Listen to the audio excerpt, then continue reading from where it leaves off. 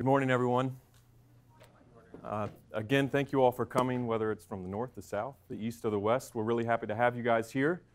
And as Jill said, I'm just going to take this opportunity to tell you all a little bit about what brought me here and what my experience has been like. So, I'm originally from North Carolina. I went to school in Maine, high school in Maine, and then I went to the University of Virginia for college. But I've spent the last nine years since college living in Tanzania in East Africa. I originally went over there uh, working nonprofit. Uh, my first year with orphan and vulnerable children, my second year teaching agriculture at a secondary school. And my last seven years, I've actually been in the agriculture business for two years as a product manager for a large family farm. And then the last five years, I've been a general manager for two coffee estates in the northern region of Tanzania near Arusha. And one of these coffee estates is, is a large coffee estate, 3,000 acres, and it's right on the edge of Arusha City, which is one of the largest growing cities in Tanzania. And the government came and they put it under an urban planning zone. So it was going to go from running a farm to running a real estate business to nothing. And my wife and I looked at each other. I'm, also married, did I mention that? Um, we also have two children who were born over there, two little girls. And my wife and I looked at each other and we said, okay, short term, we're happy. I've got a great job. Um, we've got a great community here, but we can't make long term decisions based on short term circumstances. So we talked a lot, we thought a lot about it, and we figured if we can make an MBA work, that would be a great way for us to transition back to the States, for me to look at some different uh, career opportunities. And so I started looking at schools that interested me, and then I took those schools to my wife and said, okay, now you get input. Uh, where geog geographically would you like to live? And so we narrowed it down together to about five schools, and I applied to those five schools. But as I kept on reading about the schools, as I kept on uh, talking to alumni or current students, I just felt that the current of, of, of Owen just was consistent. Everything that I read about was the same thing that I heard about from the students and from alumni and from admissions. So it just didn't feel like so much words. It felt like this was a real thing that they were talking about that was really happening. And as I, um, it came to decisions, I actually got into another school, and there was a little bit of a time crunch there. And I really wanted to come to Owen. My wife really wanted to be in Nashville. And so I called up Owen and I said, Hey, I, have got this situation, and we're so close to admissions date.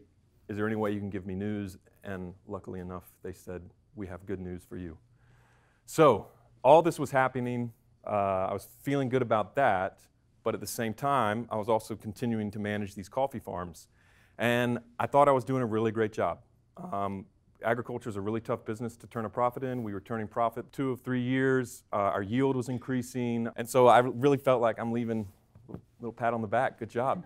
And instead, I faced a string of disappointments.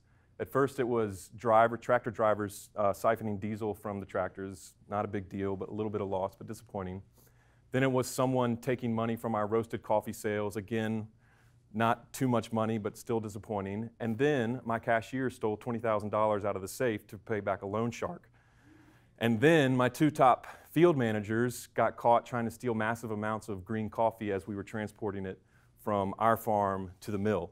So I went from feeling like, hey man, I've really done a great job managing this farm, to feeling like I've, I've failed. There's somehow there's been an undercurrent of things that I haven't noticed, that I haven't been aware of, that I haven't been able to control. And now I have no chance to redeem myself, to even see if it's possible to make a change and to improve things. So that's how I left my work, just feeling really down on myself that I hadn't done as good of a job as I thought. So I came to Nashville moved in, and started Mod 1 in August. And you will hear a theme if you decide to come here that Mod 1 is difficult. Uh, it is difficult, but why is it difficult? It's because we're coming back to school, we're getting back in the groove of what it means to study and be a student and go to class, and what it means to be in groups and learn the different dynamics there. You get to go back to kindergarten and wonder who you're going to sit next to at the lunch table. Um, and then, as well, you're, you're facing career decisions and for me, I also have a family that we're trying to find a preschool for the kids and you know figure if my wife's can, if she can find work somewhere. So just a lot going on. Um, and so I started down this operations path, and I thought that seems most similar to my experience as a farmer. I'm going to check this out. So I started going to the info sessions of those companies, but I had always kind of had this idea of a few different of my own company ideas that I wanted to work on. And Owen offers something called a fire starter, where, which is local investors come in, and you can come in as a student and you can present your idea as rough as it possibly is. And you just kind of dump it out there and they give you feedback. And it wasn't that I had some, you know, golden ticket company that was going to solve the world's problems, but I had a lot of positive feedback nonetheless about being in that industry and maybe wanting to pursue a, a new way of doing business in that industry. And it got me excited about maybe moving away from the operations path and moving on to a more entrepreneurial path. So being married and being happily married, you have to communicate. And so I went back home and I sat with my wife. We talked about it and we said, because now it's going to be, if I'm going to really commit to this, it's no longer school, two years, no income. It's who knows how long, uh, no income. She got really excited about it for me and for her and said, you know, she gave me her blessing. So I came back to Mod 2 and I started focusing on this new path. And I'm calling people in Tanzania and Brazil and Colombia and Guatemala, trying to talk to farmers about their experience and trying to narrow this kind of broad company concept down to a more focused company concept. And then I moved into Mod 3, where there's a great class called Launching the Venture. And Launching the Venture is hosted by a very successful local entrepreneur. And it's just about starting a business. What questions need to be answered? Um, what are investors looking for in a business, and it was a great class. I learned a ton. At the same time, I was applying for a grant uh, for the summer that's also uh, given by the school. So instead of taking the more traditional path of going and getting an internship at a company, the school can offer uh, three, three positions or three grants to students who are pursuing their own company. So I applied for this grant. I got the grant. I got to the end of Mod 3 and I did my final presentation for uh, the class, and I scored the highest in the class. So I got all these great things happening. But on the inside, I was not so happy. I was really stressed. I was really wondering, you got two kids, now I've got a third on the way due in August. What am I doing? I need to go get a job. I need to get an income. I need to provide for my family. Um, is my idea any good? If it is any good, am I the right person for it? To the point where it was even affecting my home life. So I come home and try to be present with my wife and my kids, and, and I just couldn't, I couldn't be present to the point where my wife is saying, hey, you know, you can go down this path, but it can't be like this. And so when she kind of snapped her fingers, it also opened my eyes to what else was happening around me here at school. And that was having a teaching assistant in that class, a second year student who was extremely positive with me about getting the work done and willing to meet with me.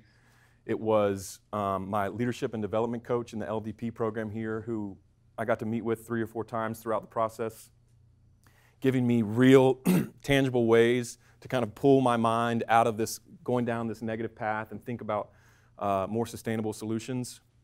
And it was even friends, uh, Owen friends, kind of rolling their eyes a little bit at me, just saying, You got this, man.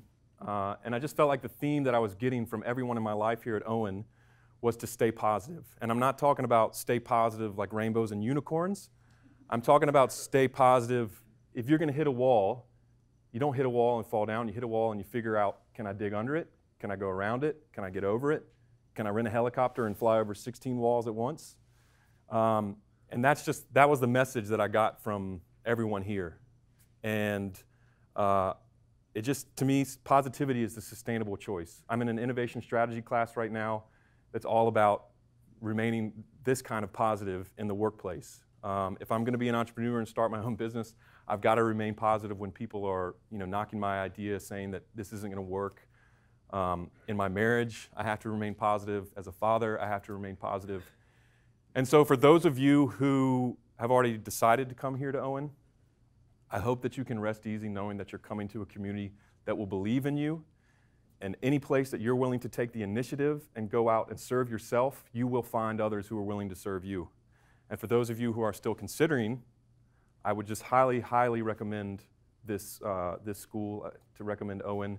And everything you read about it being a very personal place with a very personal touch. If you're willing to extend your tentacles into what is Owen, you will find a very welcoming and supportive place. So, with that, thank you for your time and welcome.